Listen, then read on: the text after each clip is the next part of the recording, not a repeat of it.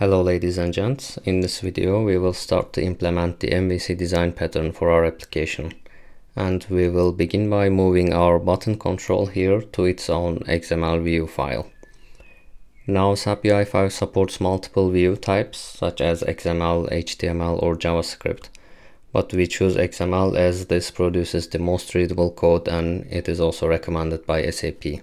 So let's go ahead and create a new folder in our root project folder named view. This name is up to us by the way, but it is highly recommended to use the name view. And inside we create a new view. Name is also up to us. I will call it app.view.xml. Now these files have to end with .view.xml or if you were to use a JavaScript view, it would be app.view.js. Now what we are going to do here is instead of creating a button control here in a JavaScript file and placing it inside HTML, we will create a view control in our XML, an XML view to be exact, and then we will put a button control inside it and then we will put that whole view into this content area. Now let's start by creating a root XML node with the namespace of MVC we will also create in a second.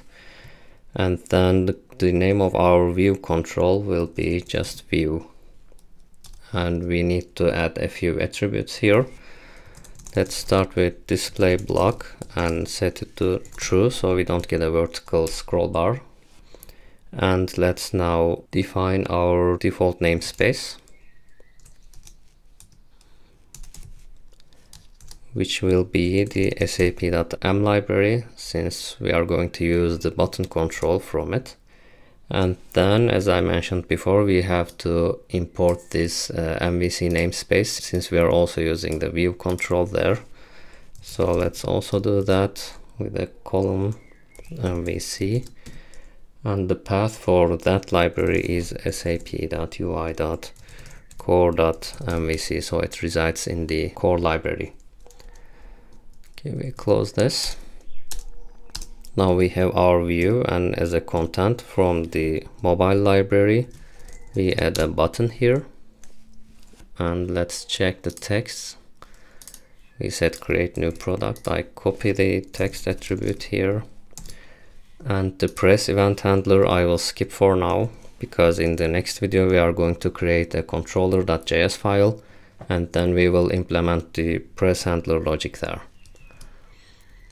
So we have a view control here with a button inside. Now in our index.js file, what we do is we get rid of this button.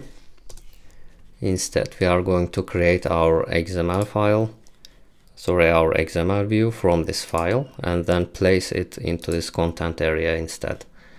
So we don't need the button anymore. Instead, we need the XML view. So we update our dependency here and import SAP UI core MVC and then XML view. Let's also name our variable XML view.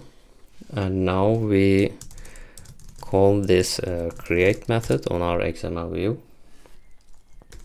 And we need to pass in the view name attribute, of course, which will point to our uh, XML file here so we need the full path and we start by the namespace. So ui5 dot product dot list.